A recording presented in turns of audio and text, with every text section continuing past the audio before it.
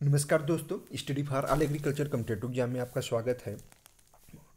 PGT अर्थात agriculture जो student हैं अदर जो स्ट्रीम के स्टूडेंट हैं उनके लिए प्रवक्ता पद जो उत्तर प्रदेश में काफ़ी अच्छी और ये 19 दस 2020 से इसका एक तरीके से रजिस्ट्रेशन स्टार्ट हो गया है और नवंबर जो लास्ट नवंबर है वहाँ तक, तक लास्ट डेट है फॉर्म फिल करने की।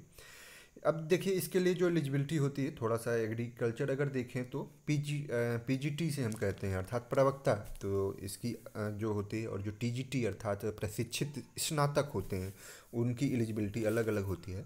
तो हम इन सब के बारे में देखेंगे। देखिए, पदों की संख्या घट बढ़ सकती है और जो सबसे बड़ी बात इसमें है कि जो परीक्षाएँ हैं, उनका अलग अलग है और, एक तरीके से प्रत्येक वर्ग विषय के सापेक्ष एक ही आवेदन स्वीकार किया जाएगा, अर्थात पृथक आवेदन, यद्यप एक से अधिक विषय में पृथक पृथक आवेदन कर सकते हैं। तो ये पदों की संख्या घटाई बढ़ाई जा सकती है, ये महत्वपूर्ण निर्देश दिए गए हैं, जैसे आरक्षण का दिया गया है, और संजय सिंह बनाम उत्तर प्रदेश शासन में अपील में जो सर्वोच्च न्यायालय द्वारा दिया गया है कि उत्तर प्रदेश के सहायता प्राप्त अशासकीय माध्यमिक विद्यालय में तदर्थ जो शिक्षक होते हैं ढॉक कह सकते हैं कि उनको वेटेज दिया जाएगा, इसमें वेटेज देने की बात की गई है। और ये शुल्क हो जाएगा हमारा ऑनलाइन। लिखित परीक्षा जो है, वो ऋणात्मक अंकन नहीं, अर्थात निगेटिव मार्किंग का प्रावधान नहीं है। तो जो भी स्टूडेंट हैं कह सकते हैं कैंडिडेट हैं, वो एक तरीके से रजिस्ट्रेशन करके फॉर्म सबमिट कर दें। और ये जो फ़ीस कहेंगे, सात सौ पचास टी की बात ही इसमें भी है।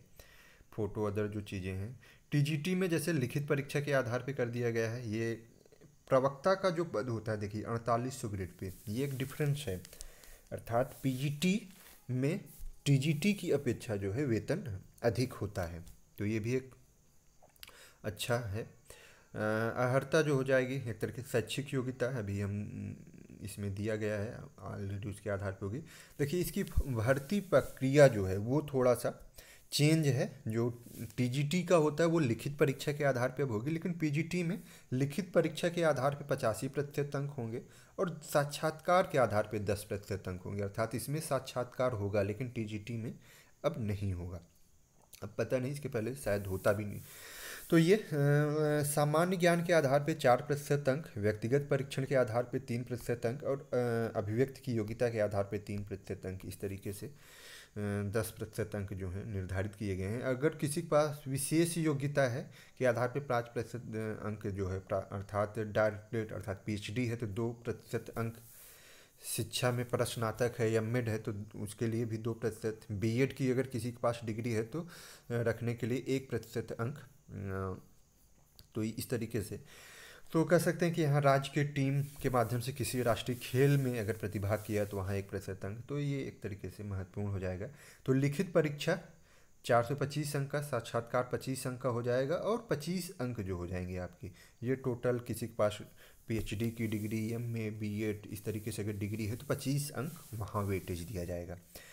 तो ये टोटल 500 अंक का होगा। तो जो लिखित परीक्षा होगी वो 425 अंक की। तो ये एक तरीके से लिखित परीक्षा, कहेंगे कि 425 तो ये 125 क्वेश्चन, जैसे हमारा टीजीटी में आना है 125 क्वेश्चन उसी तरीके से इसमें भी रहेगा। दो घंटे एम सी क्यूज बेस्ड ये क्वेश्चन होने वाले हैं।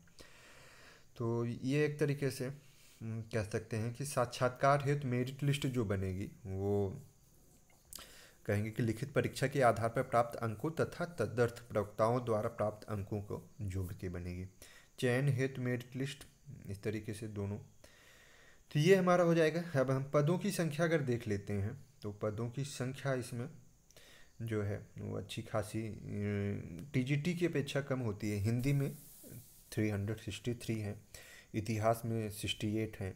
अगर हम यही बात करते हैं, संस्कृत की तो इसमें दो सौ बत्तीस है। और इसमें अगर हम देखें कृषि में तो थर्टी एट अर्थात काफ़ी कम है थर्टी एट तो थर्टी एट लेकिन ये एक तरीके से पीजीटी अर्थात हमारा पोस्ट ग्रेजुएट अर्थात जिनके पास एलिजिबिलिटी की अभी देखिए इसमें बात की गई होगी। एलिजिबिलिटी की देख लेते हैं।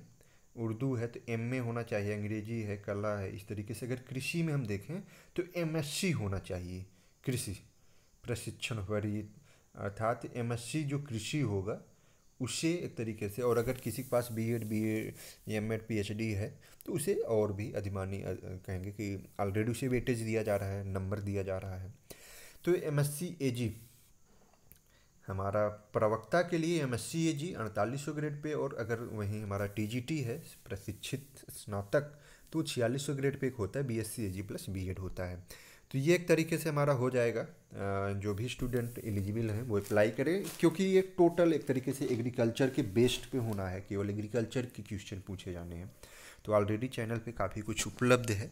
पिछली बार जो पेपर हुआ था, काफ़ी कुछ क्वेश्चन कह सकते हैं कि एक तरीके से सिक्सटी परसेंट के एबव क्वेश्चन उपलब्ध हैं इस चैनल पे, जो कि पूछे गए थे। प्रीवियस ईयर का पेपर भी आपको चैनल पे मिल जाएगा।